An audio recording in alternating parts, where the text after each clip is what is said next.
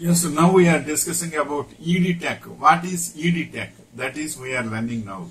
What does ED Tech mean? Education technology. ED Tech means education technology.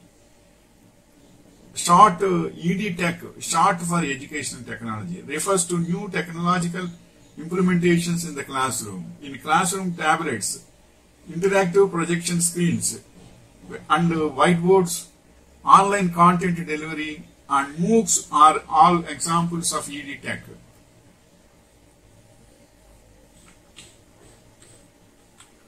Is ED Tech an industry? India has around 3,500 ED Tech startups. By 2018, the industry had amassed an impressive 500 700 million dollar in funding according to KPMG's online education in India. 2021 report by 2021 the industry could be worth 1.96 billion dollars. And the next point is what is the best EdTech platform?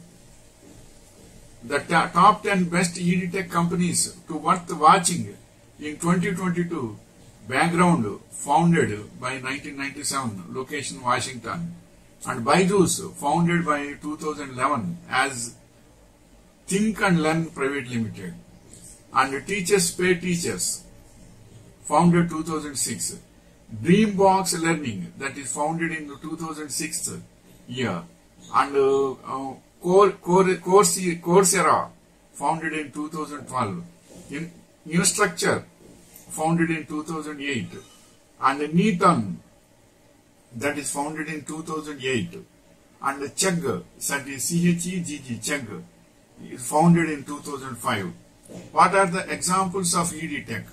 Some of the most used EdTech tools to support students and teachers include examples of uh, EdTech uh, that includes uh, video conferencing cameras, video meeting apps, learning management platforms, gaming apps, digital whiteboards, communication boards, discussion tools, laptops, tablets and projection projectors, communication apps.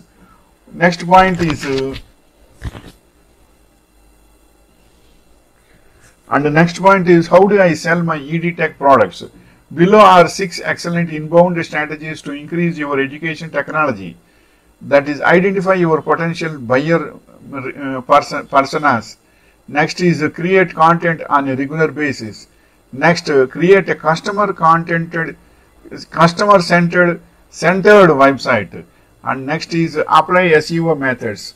Next, use uh, social media. Next, evaluate your work. Next, the last word. And the next point is how do I sell my EdTech products to students?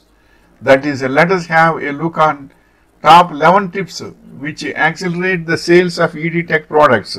Know your market, know your product and solution, make the pitch and process simple, understand the buyer persona and decision process, find out what we, timing works best for uh, meetings and sales. Uh, be prepared. Next is be prepared to travel a lot. This is the information regarding EdTech. So, educational technologies. So, what are the set of sets of informations are there in this? This is we learned. This is very useful for our students and graduates and postgraduates also to learn things for their to upgrade their skills. Wishing you all the best.